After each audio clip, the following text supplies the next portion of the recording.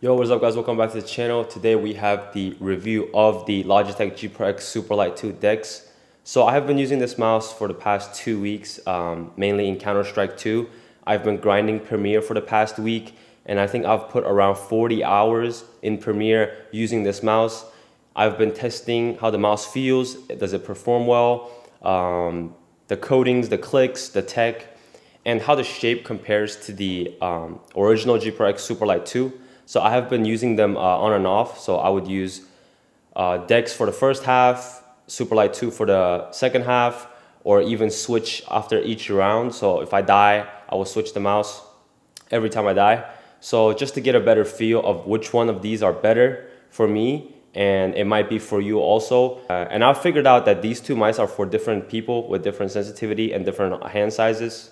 And I'll discuss all of my findings from this past week with the Logitech G Pro X Superlight 2 DEX. So let's get into it. So first of all, let's cover the shape and the weight. So this is an ergonomic shape of the Superlight 2. And personally, this is a very comfortable shape for me. I think the shape is for uh, people who want something very comfortable to lay their hands on when they have, I would say small to medium sized hands, but it also works with large hands depending on your grip. So if you have small hands you have to palm it.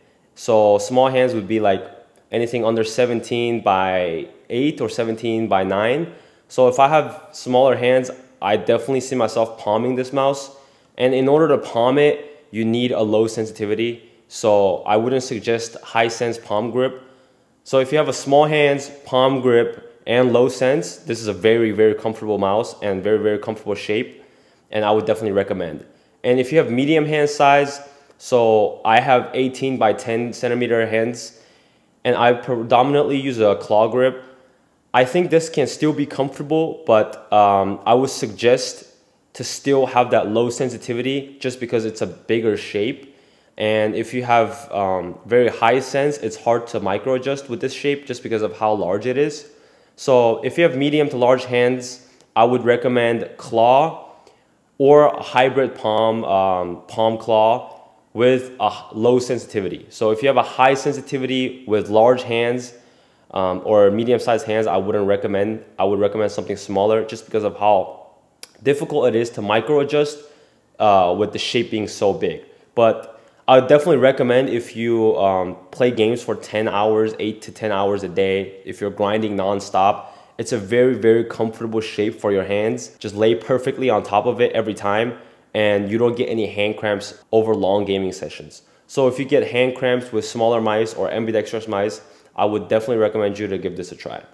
Now let's talk about the weight of this mouse. This mouse without the bottom puck comes in at 57 grams on my scale, which is 2 grams lighter than the Logitech G Pro X Superlight 2. But this 2 gram is very, very significant just because of how large this mouse is in terms of volume. So because this is such a large shape and it being 57 grams, it, the mouse itself feels very hollow and not very dense. So the weight is distributed amongst a larger volume, therefore makes this mouse feel even lighter than it is. So on the scale, it might say 57, but in hand, it feels like a 50 gram mouse just because of the volume to weight ratio.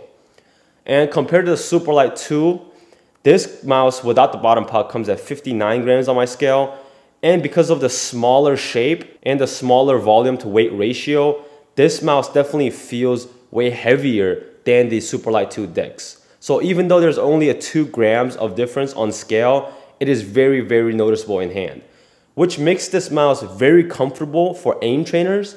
So if you're doing constant flicks in aimbots or aim trainers, this is a very, very comfortable mouse and it will definitely not tire out your wrist or your forehand, um, especially if you have somewhat of a medium to high sense. Uh, if you're doing a lot of flick shots scenarios, I would recommend this mouse because just of how comfortable the shape is and how light it feels in hand because of the larger volume and the um, larger volume to weight ratio. Now let's talk about the buttons and the clicks. So far I've had no issues with the clicks, the main clicks and the side button clicks. I mainly just been playing Counter Strike, so I'm not spamming it too much. I'm only single clicking and kind of burst firing. I don't even like to spread too much in game. So for that reason, the clicks have been wonderful. I like the heavier and crisper clicks for FPS games. So for Valorant and Counter-Strike 2, I much prefer crispier and heavier clicks um, that I won't misclick that as often compared to something very light and very spammable where uh, if I'm holding an angle with an op, I might misclick just because of how light the switches are. So I prefer the crispier and heavier clicks from the Logitech mouse for first person shooter. And the clicks are definitely um, a little quieter than the GPX2. The GPX2 have very, very loud clicks, um, but I personally like it. I like the very crispy and loud sensation of these clicks. Gives me a very nice feedback while I'm gaming. And these are a little bit mute uh, compared to the Superlight 2, but the actuation force and weight feels uh, around the same. I couldn't really tell a difference. They feel they feel around the same weight to actuate the mouse. And I've also been using my Superlight 2 for a long time, so these buttons are, these clicks, these main clicks are definitely broken in, so take that into consideration. I would say um, the DeX main clicks are very good for FPS games. Now let's talk about the side buttons a little bit. Yes, these side buttons are a little mushy, but uh, I had no trouble with these side buttons while in game. I have my smokes and flashes in Counter-Strike bounded to the side buttons and I didn't have any issue activating them or did I realize these uh, side buttons were very mushy. However, I do um, feel like they could improve the side buttons a little bit, making the post and pre-travel a little less will help the just the in-hand feel of the side buttons, but I had no trouble with these side buttons while in game.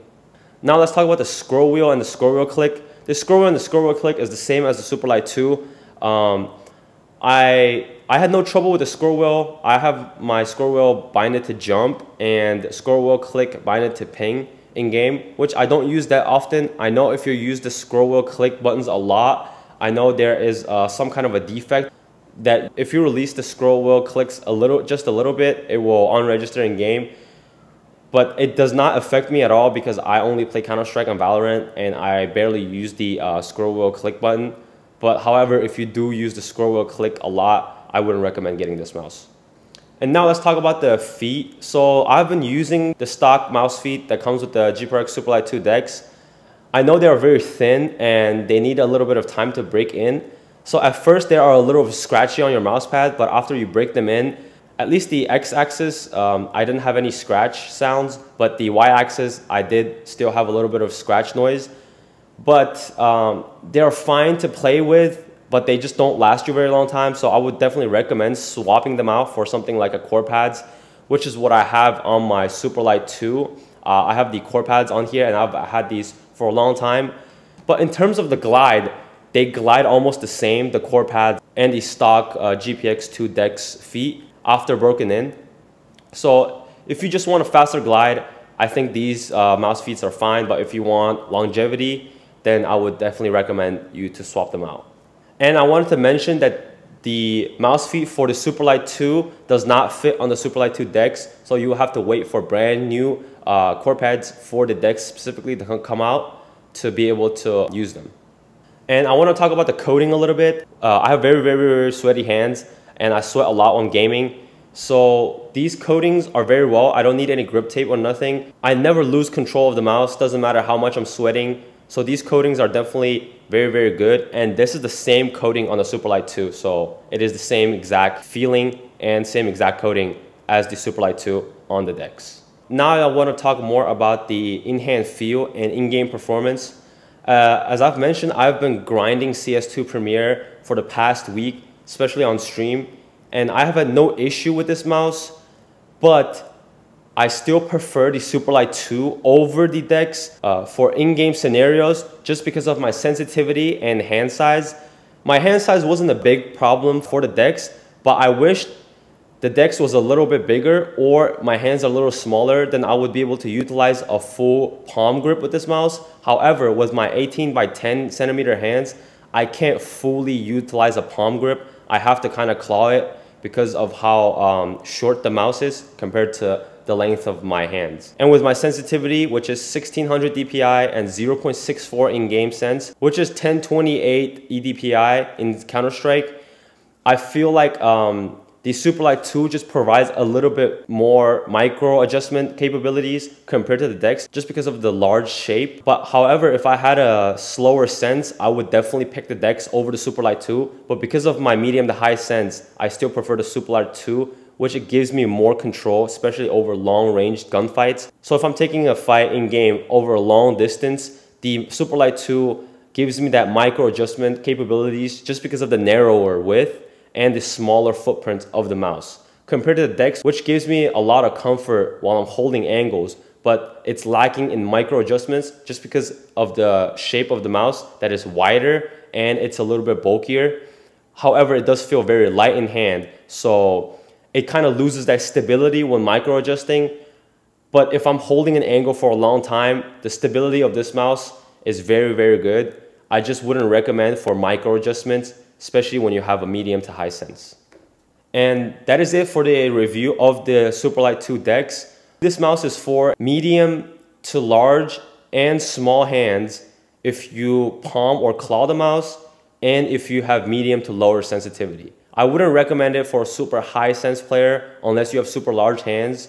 I also wouldn't recommend small hands with high sensitivity. As long as you have a medium to low sensitivity, and you use a palm or a claw grip, I think this mouse is very, very comfortable and it performs very well in game. But because of my medium to high sense and my 18 by 10 hands with a claw grip, moving forward, I think I will be sticking to the Superlight 2 just because of the micro adjustment capability that it provides me in game. I will be keeping the Superlight 2 DEX around for an ergonomic alternative to the Superlight 2. If you enjoyed this video, please leave a like and subscribe to the channel. We're so close to 1,000 subscribers and if you could hit that milestone, it would be amazing. And if you want to purchase the mouse or any other peripherals that I've mentioned in this video, please check out the links in the description. And I appreciate your support. See you next time. Peace.